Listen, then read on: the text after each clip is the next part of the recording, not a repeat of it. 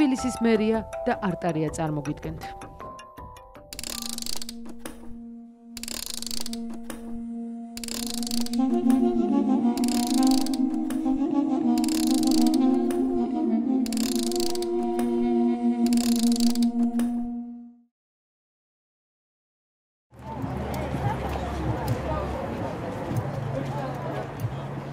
დიდი ბოდიში ყოველას მოკლედ დაგვიანებისთვის და დიდი მადლობა პირველ რიგში რა თქმა უნდა მობძანდით და ასეთი ინტერესი გამოიწვია ფიროსმანმა მეც მეგონა რომ დარწმუნებული არ ვიყავ მაგრამ მეგონა რომ ნამდვილად დაიმსახურებდა დიდ ინტერესს და რაც თავარი დიდ სიყვარულს ეს აბსოლუტურად გენიალური მოვლენა ჩვენთვის და ცოტა გამიკვირდა რომ იქიდან მოვდიოდი თავისუფლების მხრიდან და დავინახე გადაკეტილი ქუჩა და ამდენი ხალხი ნამდვილად გამოჩნდა რაღაც მომენტში ვიფიქრე რომ ასე როდის შეგვიყვარდა ფიროსმანი მეთქი აღმოჩნდა მოტო ხალხი, მაგრამ არა უშავს. მოტოთი იწყები და მე მეადგებიან ადრე თუ გიან ფიროსმანს, შეულებრივი ამბავია. ძალიან დიდი მადლობა კიდევ ერთხელ მობრძანებისთვის, როგორც იცით, დღეს ვისაუბრებთ ფიროსმანის შესახებ, უпростоრად თბილისის შესახებ და ფიროსმანის შესახებ და ვისაუბრებთ იმ თბილისის შესახებ, რომელიც იყო ფიროსმანის დროს და რომელიც თვითონ შექმნა, რომელიც არ იყო, მაგრამ მან თვითონ შექმნა არა მხოლოდ ფიროსმანი, ჩემი სუბიექტური აზრით. ჩვენი ქვეყანაც, საერთოდ მე მეცაც გეტყვით, ჩემი სუბიექტური აზრით, ჩვენი ქვეყანა არის ის რაც შექმნა ფიროსმანმა და თუ მოახერხე და თუ მექნება ამის დრო და ენერგია, აუცილებლად მინდა დავწერო წიგნი, რომელსაც ასე ერქვა პირდაპირ. ფიროსმანის ქვეყანა, ანუ ჩემთვის საქართველოს არის ყველაზე საუკეთესო ვარიანტი ის, რაც დაინახა ფიროსმანი, როგორცაც ხედავდა ფიროსმანი, როგორც მას ეგონა ქვეყანა, ადამიანები, გარემო და აი ადამიანების თავგადასავალი ჩვენს კონკრეტულად ჩვენს სივრცეში, კონკრეტულად ჩვენს ქვეყანაში. ამიტომ თუ მოახერხე აუცილებლად დავწერ ასეთ წიგს, მაგრამ მანამდე ვისაუბროთ ფიროსმანის შესახებ, შემთხვევითი არ იყო არჩევანი იმ ველოსიპედთან, იქ მინდოდა რომ დაგვეწყო საუბრო, ვერ მოახერხეთ, იმიტომ რომ იმ აი სადაც ველოსიპედი დგას, სხვადასხვა იმ ველოსიპედის ქვემოთ ძალიან ახლოს იმ ადგილთან იყო ესე იგი ერთ-ერთი ნიშნულოვანი მის ცხოვრებაში, მის ბიოგრაფიაში იმ ველოსიპედს ეწერა და მე მგონი აღარ აწერია იმ ფრანგი ავტორის ხოც ფრანგებმა გააკეთეს ეს ველოსიპედი. აღარ აწერია ავტორის ვინაობა, არ ვიცი რატო ეთყობა იცით რომ ბევრი მოწინააღმდეგე ყავს ამ ველოსიპედს და ნენელა შლიან და ეთყობა ნაწილ-ნაწილ გააქვთ, არ ვიცი სინამდვილეში რატო გაქრა, მაგრამ მე ვარ მომხრე რომ დარჩეს, იმიტომ რომ როგორც წესი 10 წლების მანძილზე საქართველოსში თბილისში მithumetes იდგმებოდა ან ცხენების, ან ცხენზე მჯდომი ადამიანების, ან იმ ადამიანების ძეგლები, რომელსაც უნდოდა ცხენებზე შეჯდომა და ასე შემდეგ და როგორც იქნა გაჩნდა ველოსიპედის ძეგლი და მე ძალიან მიხარებ რომ ველოსიპედის ძეგლი გაჩნდა და ალბათ იმ ფრანგებმა ავტორებმა არ იცოდნენ რომ ეს არის ადგილი, რომელიც ველოსიპედთან არის უცნაურად დაკავშირებული.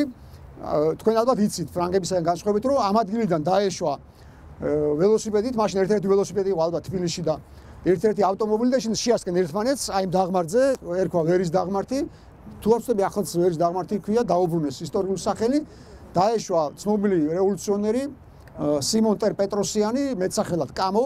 იცით ასეთი რევოლუციონერი იყო. დაეშვა აი დაღმართი უკვე ღამე იყო ეს იყო 1922 წელს მოხდა და და შეასკდა ავტომობილს და გარდაიცვალა და სხვა შორის კამო იყო ადამიანი რომელთან რომელიც მარტო საქართველოსთან არის დაკავშირებული საერთოდ სოციალ-დემოკრატულ მოძრაობასთან და საბჭოთა კავშირის ისტორიასთან მის შექმნასთან იყო ადამიანი რომელიც იყო მთავარი შემსრულებელი ასე ვთქვათ ტერმინი რო ვიხმაროთ კრიმინალური ყველა ექსპროპრიაციის დიდი ექსპროპრიაციების შემსრულებელი რომელიც რასაკვირველია მე როგორც ხდებოდა ხოლმე როცა შეასრულებდა რაღაც დავალებას მის მიმართ გამოძვებით ისმოდა კრიტიკა და საყვედურები და მას ძალიან უკვირდა, იმიტომ რომ მიღებულ ფულს ექსპლუატაციის გზით ჩვენად იღებდა პარტიული სალარო და ძალიან უკვირდა, რომ მე მას ლანძღავდა იმის გამო, რაც თვითონ დაავალეს. მაგრამ ნუ გასაგებიზების გამო ეს ხდებოდა და როცა მოკვდა კამბო, გაჩნდა ეს ეს ვერსია, რომ ის არ არ დაიღუპა თავის სიკვდილი და ეს იყო არა საბედისწერო შემთხვევა და ავარია, არამედ იყო განზრახფლელობა, იმიტომ რომ კამო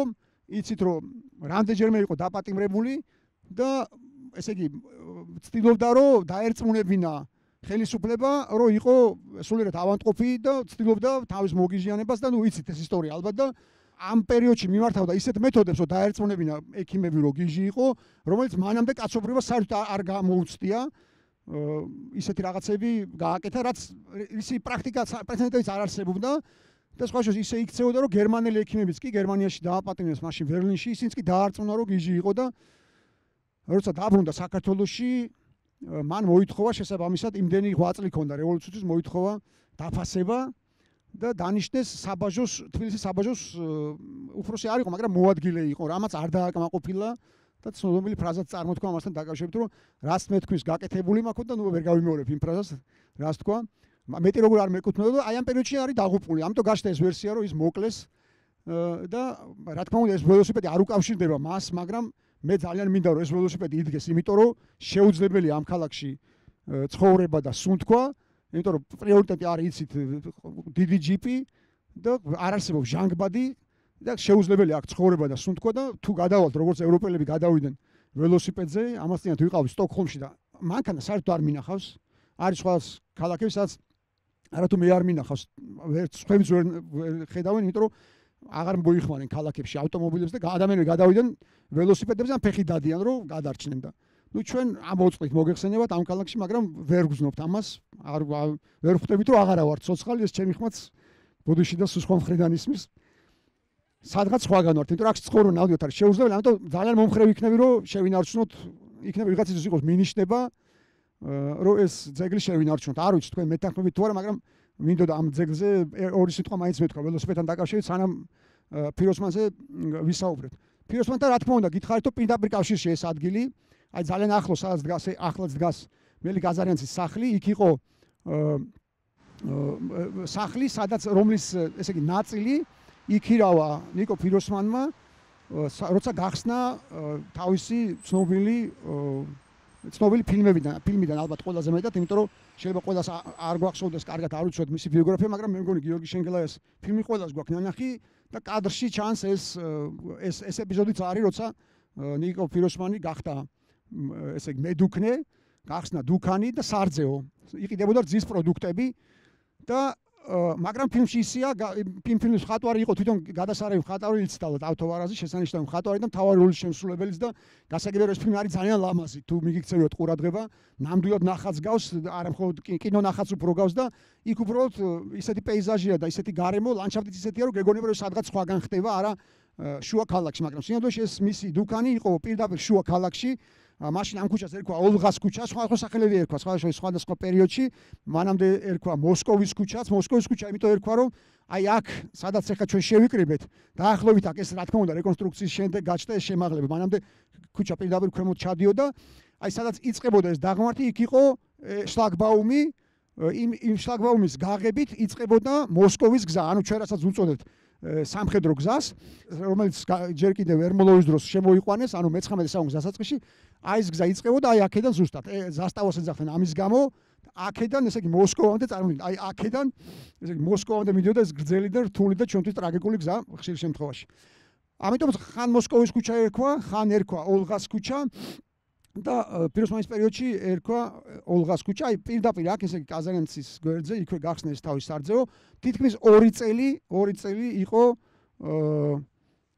მოქმედებდა, ესე იგი ფუნქციონირებდა და ესე იგი შემთხვევით არ არის რომ დავიწყე ამ ამ დეტალით, იმიტომ რომ როგორც იცით, ფიროსმანი მაინც არის გარკვეული стереოტიპული მოვლენა ჩვენ ცნობიერებაში და ეს გასაგებია რატო? იმიტომ რომ საბჭოთა პერიოდის განმავლობაში 10 წლების მანძილზე ხდებოდა აა ამ ხატის, ესე იგი, აი ამ стереოტიპის შექმნა, რომ ფიროსმანი ეს არის ეს იყო მხატვარი, რომელიც იბრძოდეს საბჭოთა რომ ჩამჯდარიყო საბჭოთა იდეოლოგიაში, რომ გაემართლებინათ ფიროსმანის კანდიდება იყო მხოლოდ ღარიბების უპოვართა კომაგი და მხარდამჭერი მათი მხატვარი და ამის გამო ესე იგი საბჭოთა ხელისუფლებამდე ანუ რევოლუციამდე საქართველოსი შეუძლებელი იყო მისი დაფასება მისთვის პატევის მიგება მისი აღიარება და ასე შემდეგ და ეს მხოლოდ შესაძლებელი გახდა მერე საბჭოთა ხელისუფლების დამყარების შემდეგ. ამიტომ ეს ეს მითი ითხოვებოდა ნელ-ნელა და საბოლოოდ მაინც შეძლეს ამის შექმნა და ჩვენ უმრავლესობას ნამდვილად ასე გონია ალბათ რომ ეს არის ადამიანი რომელიც მხოლოდ იმიტომ იყო ასე გადაიცვალა სიღატაკეში და გაჭირვებაში რომ ესე იგი ვერ მოესწრო საბჭოთა ხელისუფლებას და როგორც სოციალურად ესე იგი ყველაზე დაუცველი ყველაზე ღარიბ ფენის კომაგი არ დააფასა მანამდელმა საზოგადოებამ და საერთოდ მანამდელმა სამყარომ.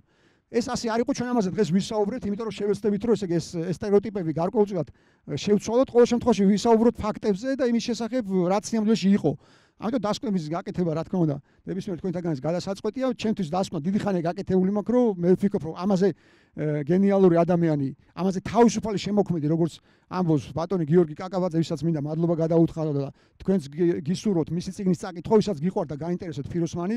აი ბოლო პერიოდში გამოვიდა ბატონი გიორგი კაკაბაძის ციგნის შესანიშნავი ციგნი პირდაპირ ასე ქვია ნიკო ფიროსმანი და აუცილებლად წაიკითხეთ თუ გაინტერესებთ.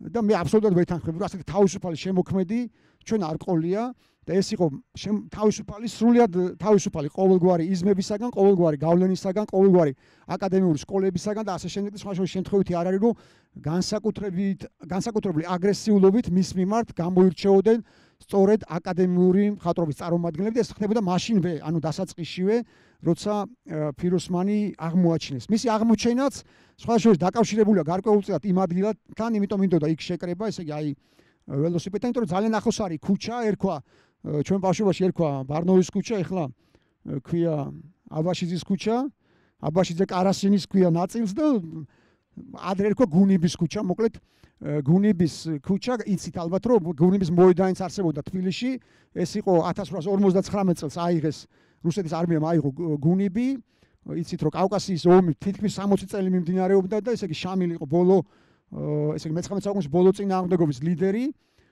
იმამი რომელიც დაატყვევს 1859 წელს და აი მის საპატივცემლოდ ესე იგი მოედან სადაც ის მოედანი იყო გუნიბის მოედანი ესე იგი პირველ კლასიკურ გიმნაზიასა და მოსწავლეთა სასახლეს შუა სადაც მე აშენდა სობორო და სადაც ახლა დგას პარლამენტის შენობა.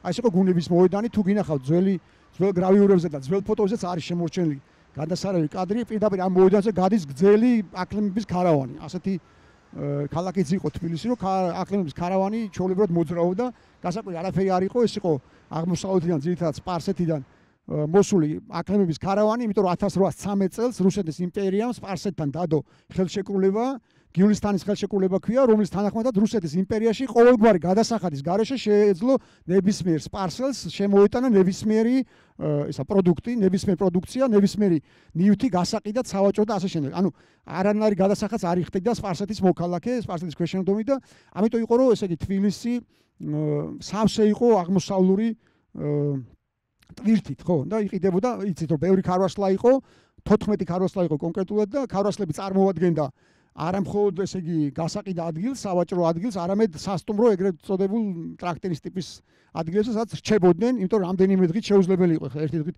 ამ ხელაგზიდან ჩამოსვლა.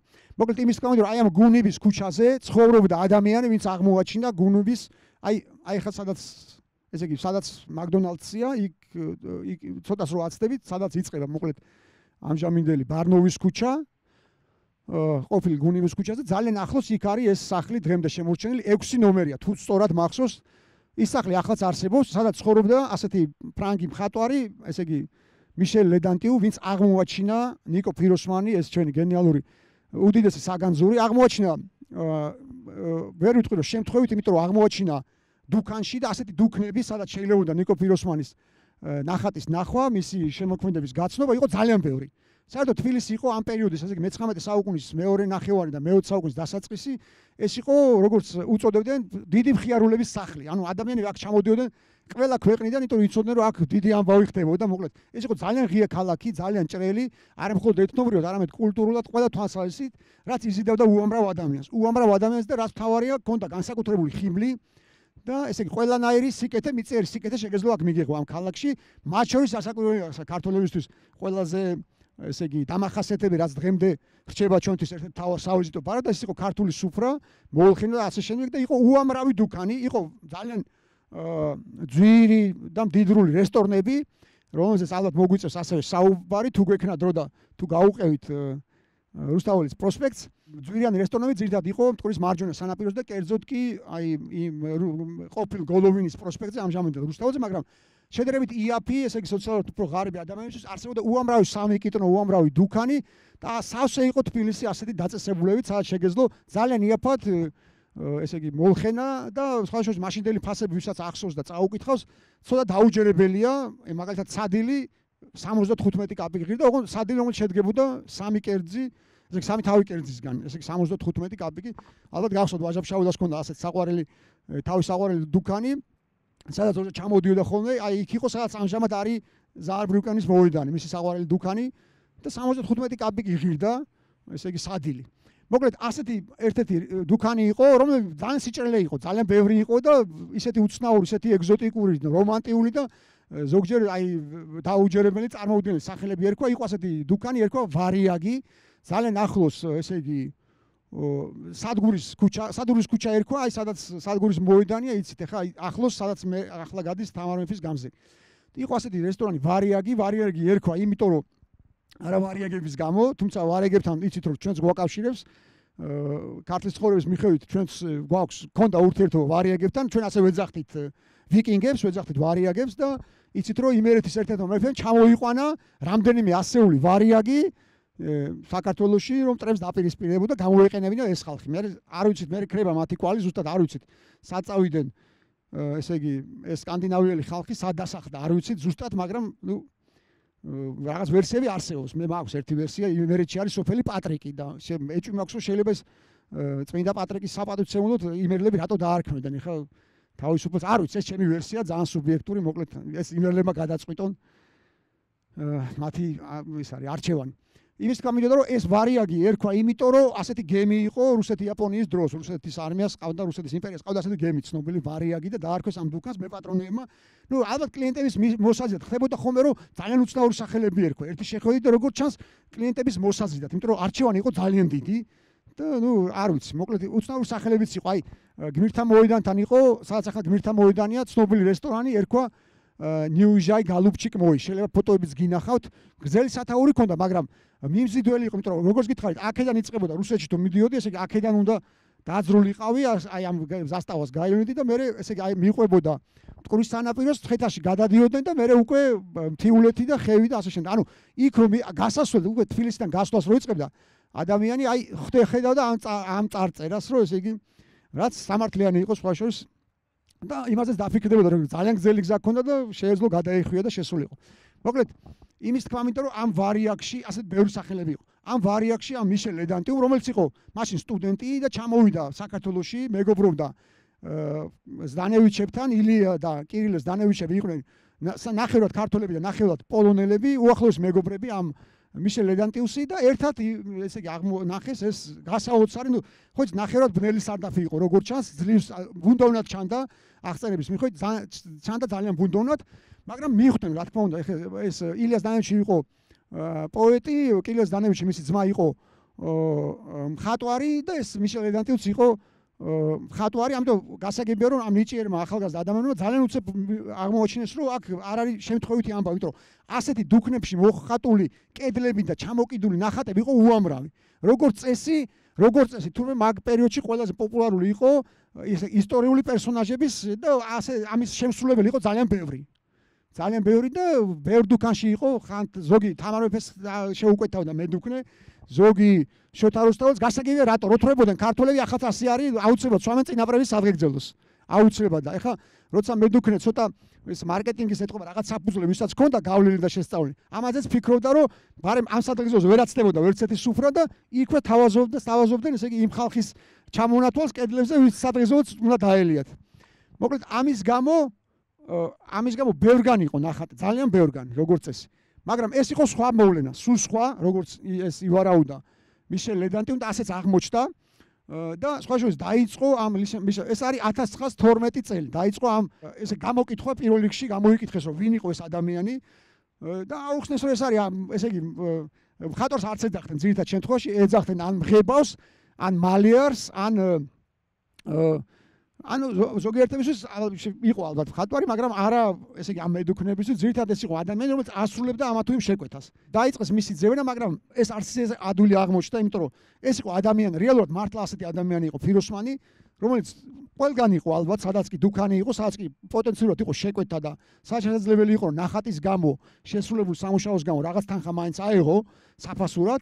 ყველგან იყო, ამიტომ თელ თბილისში, მაშინ თელ თბილისში, მაგრამ იყო ადამიანი, რომელიც იყო ძალიან ჩუმი ძალიან თავდავალი რომელიც უყვარდათ ამის გამო, მაგრამ ეს იყო ადამიანი, რომელიც შეუმჩნევლად ცხოვრობდა. იმდენად შეუმჩნევლად, რომ ძალიან ხშირად ის ქრებოდა და ჩნდებოდა მარტო მაშინ, როცა ესე შეკვეთის აღება უნდა და ამიტომ ასე მარტივ არ აღმოჩნდა მისი მოძებნა, არ აღმოჩნდა ესე აღმოჩნდა რთული და რაც თავი აღმოჩნდა რთული ესე იგი ჯერ დადგენა რომელი ეკუთვნოდა აი ამ დუქნებში სავსე იყო ესე იგი ფიროსმანის ნახატები რომელი ეკუთვნოდა მას და რაც თავარია მათ გადაწყვიტეს რომ დაეწყოთ ნელა შეგროვება შესყიდვა ასე ვთქვათ მაგრამ მედუქნები ადვილად ართმობდნენ ართმობდნენ სამი მიკიტნები და მედუქნები ართმობდნენ იმიტომ რომ კლიენტების უსჭირდებოდათ და ну მაინც მოახერხა ამ მიშელ ედანტიუს სხვადასხვა რამდენიმე ამ ნახატის შეძენა და ეს რამდენიმე ნახატი 4 ან 5 სხვა სხვა წყაროებში სხვა სხვა სხვა ერთად წაიღეს მოსკოვში, ესე იგი მასშინდელი, რა თქმა უნდა,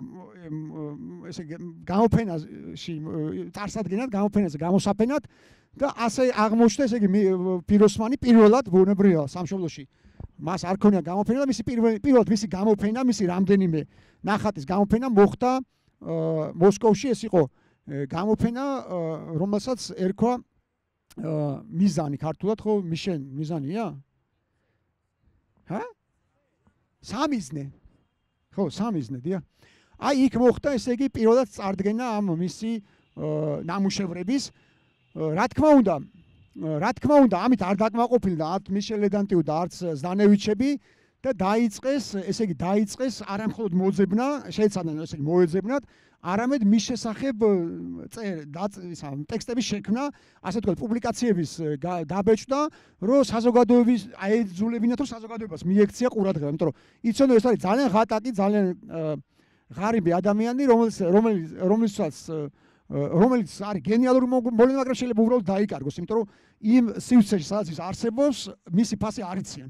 და დაიწყეს წერილების წერა, სხვადასხვა პირველი წერილი რომელიც დაწერა ამ კი ისა ზდანევიჩმა პირველი ამ ილიას დანევიჩმა პირველ წერილში მიმართა უბრალოდ ქართულ საზოგადოებას მიმართა რომ აი ხალხო თქვენ ჩვენ შორის ცხოვრობს ამ ქალაქში ცხოვრობს ასეთი გენიალური ადამიანი ეს მისი ხედვა არის რადიკალურად განსხვავებული იმისაგან რაც კაცობრიობა როგორ იცის ფერწერაში და მხატვრობაში ეს არის სულად გენიალური მოვლენა და მივაქციოთ ყურადღება და მე ერთი წლის შემდეგ ესე ეს სტუდენტები იყვნენ სხვა შორის კოჯროლები იყვნენ ეს დანეუჩები დედა ყავდათ ქართველი როგორც გითხარით და მაგრამ წარმოშობით იყვნენ ესე მამა მამის სპრი იყვნენ პოლონელები.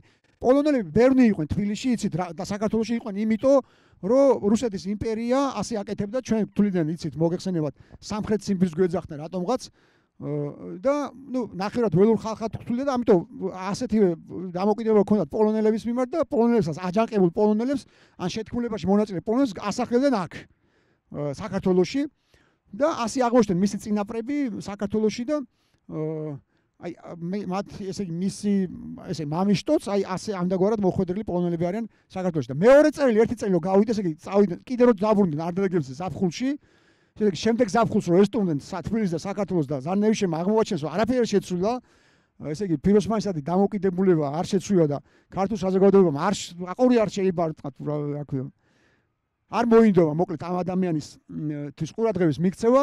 მეორე წერილი დამეჭდა ზანევიშო რომელიც პირდაპირ ასე პირდაპირ ასე ეძახდა ესე ასე მიმართავდა ქართულ საზოგადოებას. თქვენ აბიჭრევ აი ეს პირდაპირ ასე იწყებოდა ეს წერილი როგორ ვერ ახერხებთ დაინახოთ ეს გენიალური ადამიანი როგორ არა გაქვთ ესე იგი უნარი რომ ესე იგი საკუთარი კულტურის ამ საოცარ მოვლენას, ამ საოცარ ფენომენს ფენომენს მიაქციოთ ყურადღება. ნუ ძალიან აგრესიული წერილი იყო მეორე და გასაგებია, ძალიან გაბრაზებული იყო ზდანევიჩი, მიხვდა რომ აქ ძალიან რთული იყო, ესე იგი, როგორც ჩანს ესე იგი, სანამ ქართველები მოგეხსენებათ, სიცოცხლეში ძალიან ძნელია თანამედროვე ქართლის აღიარა, ვითომ ეს ისეთი ტიპის როგორც არის ფიროსმანი, ძალიან ძნელი იქნებოდა ალბათ.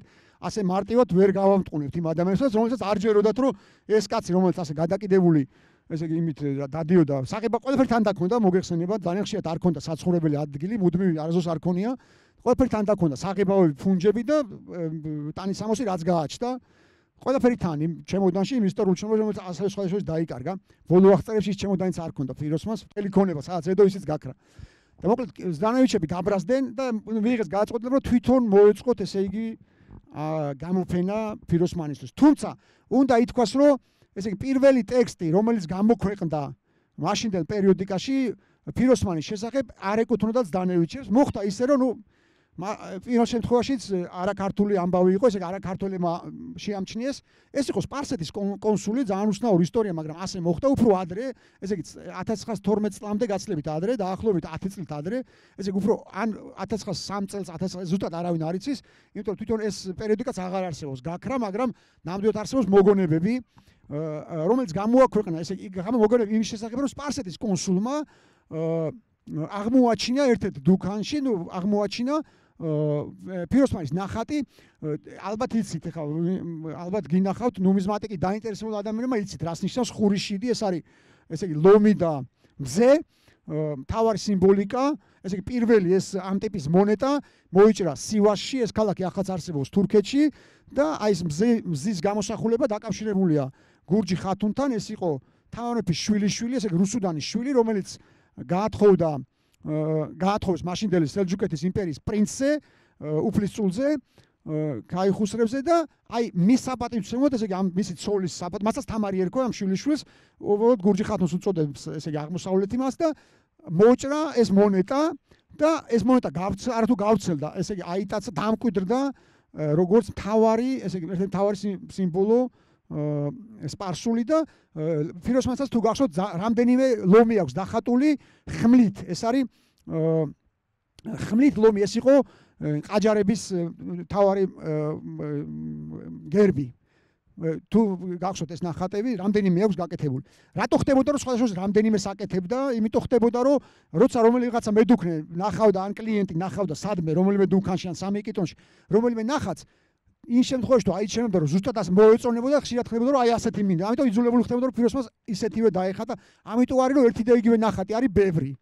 აი რამდენიმეა როგორც წესი ერთი და იგივე. არა იმიტომ თვითონ ფიროსმას არ უყვარდა. სხვადასხვა გამეორება ძულდა ვერიტანდა გამეორებას ყოველთვის უნდა რომ რადიკალურად განსხვავებული ყოფილიყო მისი ერთი ნახატი შემდეგი ნახატი წინა ნახატისგან მაგრამ ფიროსმას არ უყვარდა ეს ნამდვილად. მაგრამ ხშირად ხდებოდა იმიტომ შეკვეთები იყო ასეთი რომ გაემეორებინა ის რაც მოწონდა რომელიმე კლიენტს ან მიკიტანს და დუქნის მეპატრონის.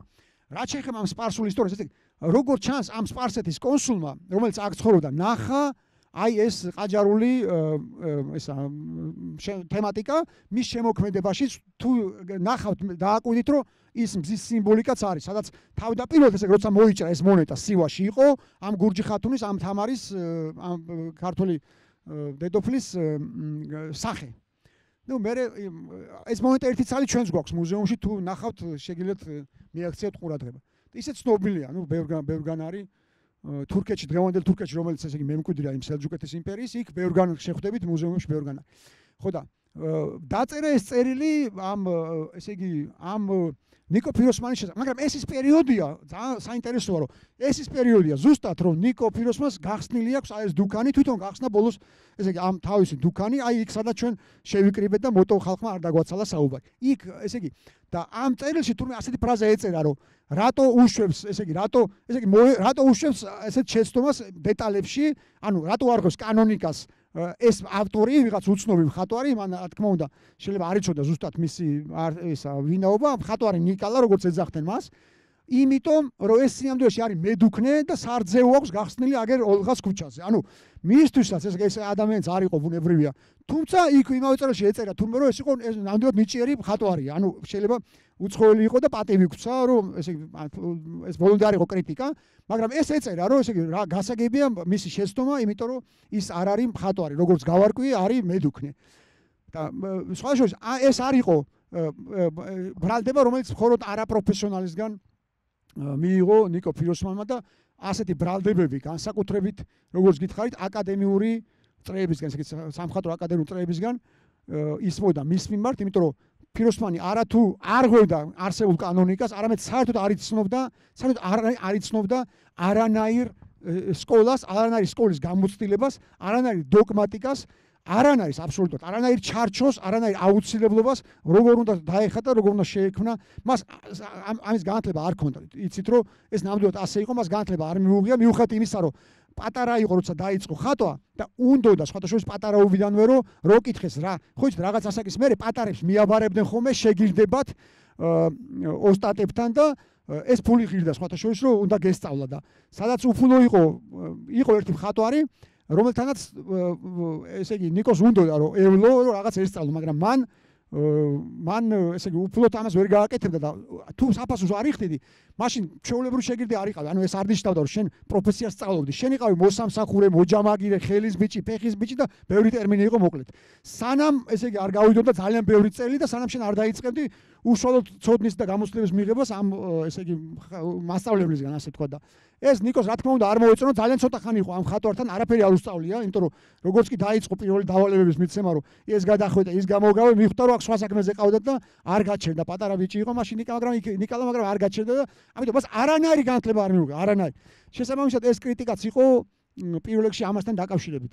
მოყვა განსაკუთრებით მოყვა ამ პირველ გამოფენას ესე იგი შედარებით დიდ გამოფენას კირილეს დანევიჩმა და ირილეს დანევიჩმა მოაწყეს.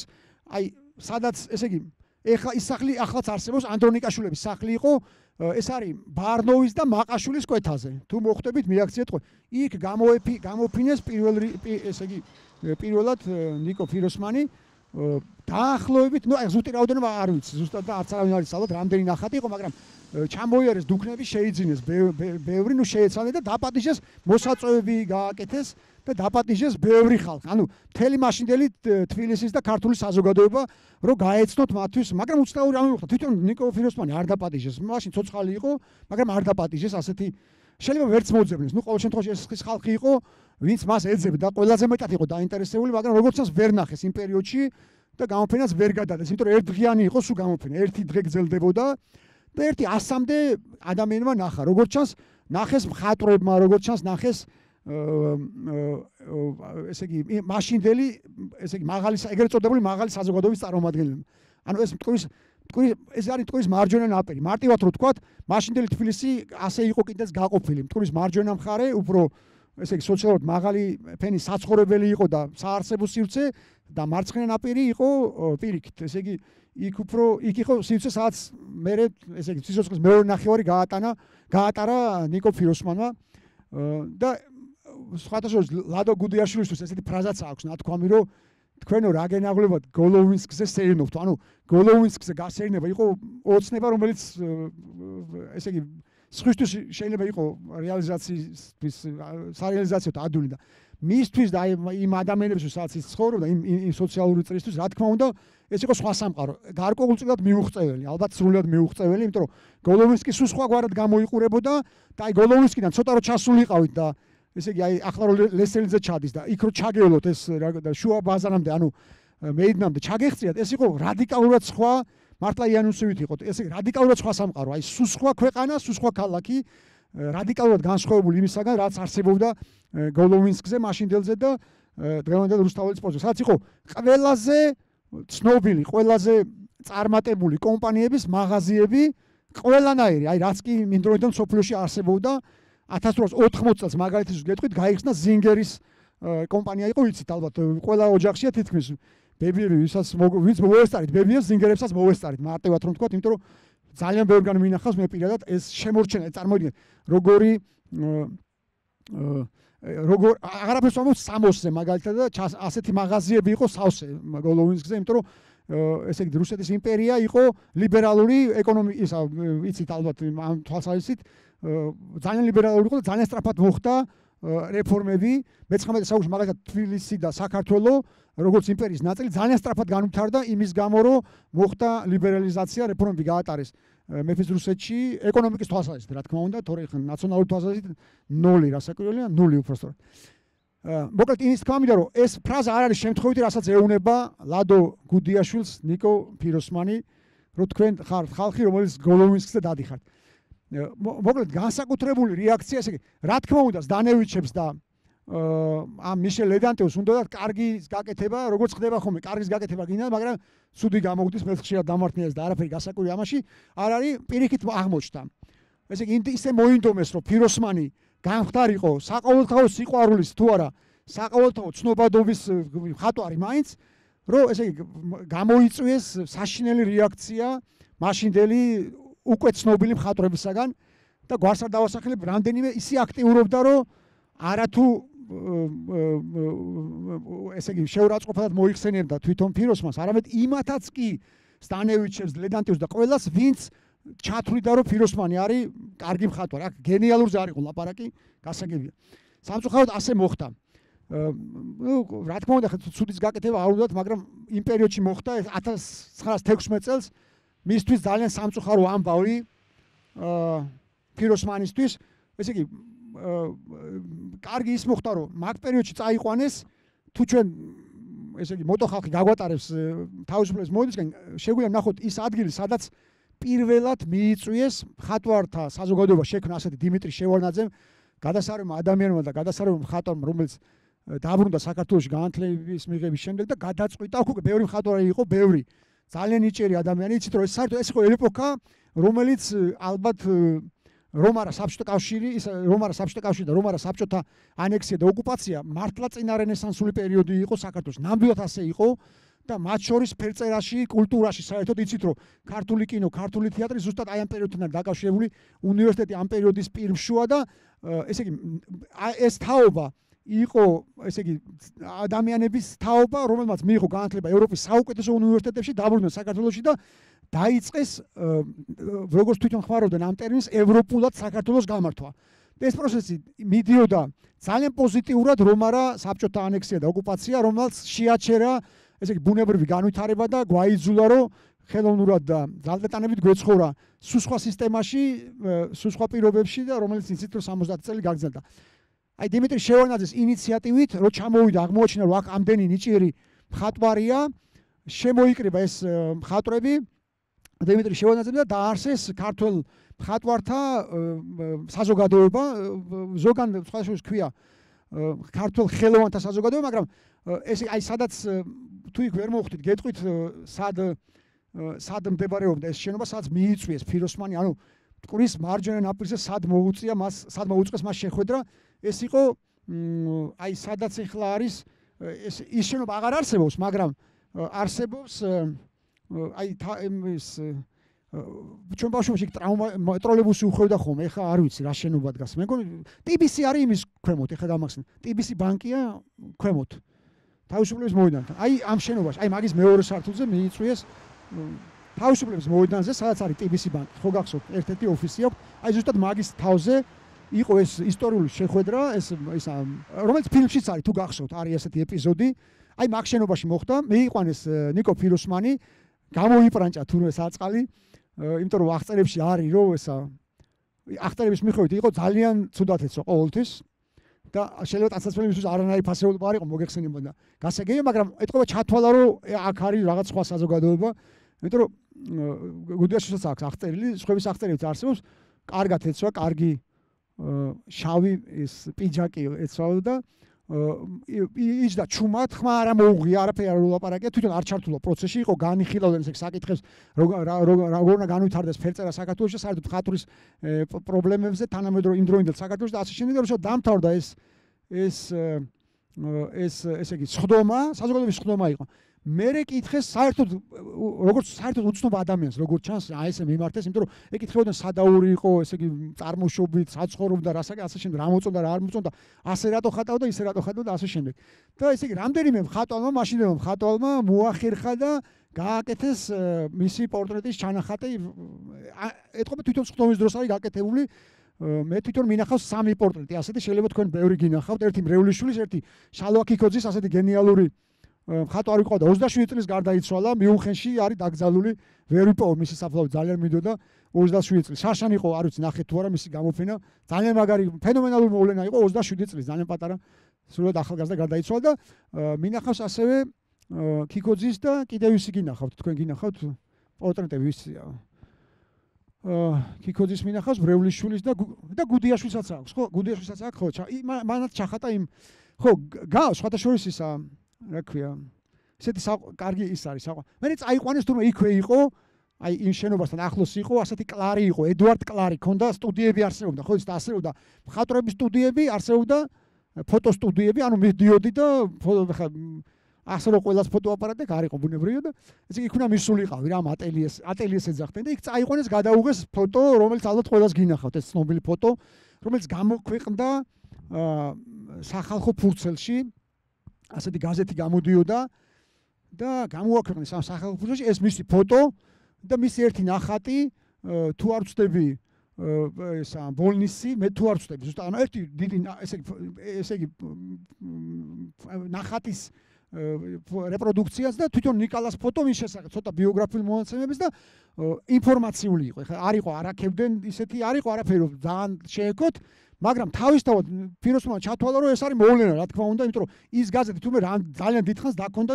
ჯიბით იმიტომ რომ ყველას აჩვენებდა თავის მედუქნებს, ანუ იმ წრეს, სადაც ის ცხოვრობდა, ვისაც იცნობდა, ვისთანაც მეგობრობდა, რომ აი რო ესე იგი ეს მარტო მათთვის კი არ არის მხატვარი, არამედ იმ საზოგადოებისთვის, რომელიც მარჯვენა სანაპიროზე ცხოვრობს და იქ მოღვაწეობს და მაგრამ ეს არ გაგზავნა დიდხან სამწუხაროდ მოგეხსენებათ იმავე გაზეთში საშინელი მისთვის საშინელი ამბავიც მოხდა. დაბეჭდეს კარიკატურა ძალიან ცოტა ხანში მალე შორის ერთი თვეც არ იყო მე მგონი გასული ხა ზუსტად არ მახსოვს რამდენი დღე იყო მაგრამ დაბეჭდეს კარიკატურა სამ კარიკატურაზე ესე იგი ფეხში შველია ფიროსმანი გახსოვთ ალბათ შეიძლება გინახავთ ეს კარიკატურა და გრიგოლ რობაკიძე ის არ არის ფეხში შველი და საერთოდ მაღალი ქუსლები აცვია ეს ეს თუ გინახავთ აა ძალიან უცნაურ ფრაზას ეუნეო ნუ შეურაცხყოფილს ასე ვთქვათ რომ ესე იგი უკვე ასაკოვან ნიკო ფიროსმანს ეუნება რომ აი შენ კიდე ალბათ 20 წელი დაგჭირდება რომ რაღაც ისწავლო და 20 წლის მერე გამოფენებსაც მოგიწყობთ და ყველაფერი კარგად იქნება და ასეთი ტექსტი ეწერა ამ კარიკატურას. და სხვა შორის კარიკატურა საერთოდ როგორც წესი იყო ძალიან გავრცელებული. მაშინ მაშინ მე საბჭოთა პერიოდში გაქრა აღადგინეს სპეციალურად მე ებძონე ხოლმე რაღაც მანკიერებებს და პირიქით ჟურნალების შექმნეს რაღაც კრაკადილი ჩვენთან ნიანგი ამის ანალოგი დაშენე, მაგრამ ესე იგი საბჭოთა დელ საქართველოში ძალიან ბევრი იუმორისტული გაზეთი გამოდიოდა პერიოდიკა იყო ბევრი აკაკისაც კი ქონდა აკაკი წერეთენსაც რის გამოც დაიჭირეს სხვათა შორის. და ბეჭდავდნენ კარიკატურას ერთხელ აკაკიმ დაბეჭდა მაშინდელი მერის კარიკატურა იმისა და ამის გამო დაიჭირეს. გერმანიას კარიკატურის გამო რო დაგიჭირონ ხო და მეტეხის ციხეში იჯდა თქვა შუის ერთი ღამე ერთი ღამე გაატარა აკაკიმ და სხვა შორის ესე იგი რომ მიიყვანეს და რომ მე რომ მიხვდნენ ვინ იყო მიხვდნენ იმიტომ რომ მთელი ციხე თურმე სკანდირებდა ყვიროდა რომ დაინახეს პატიმრები რომ აკაკიმ გაგიჟდა სიხარულზე იმიტომ რომ პატიმარი მაინც ხო თვლიდა რომ რაღა ხო ახლა აკაკის რომ მოგიყვანენ მეორე ციხეში გაგიჟდა სიხარულზე და ყვიროდა თურმე მთელი ღამე აკაკი და აკაკისაც ეს ეთქობა მოეწონა ეს ამბავი და არ გამოვიდა ციხიდან. ესე იგი დილამდე დარჩა გაჯიუტდა და გაატარა ერთი დღე